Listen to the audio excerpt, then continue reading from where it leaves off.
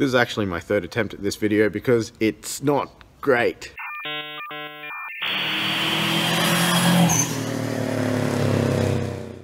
Now look, when I say it's not great, I don't mean the content. The content was fine. I'm just super, super tired because it's been a long day. So I mentioned yesterday that we got new parts cars. One of those is on hold, which is a long story, which I will probably not explain at some point. Um, because I'll forget and move on and it'll just be parted and gone. But anyway, uh, the other car went up today and was publicly advertised and that's good engine's gone already, which is great for the first day.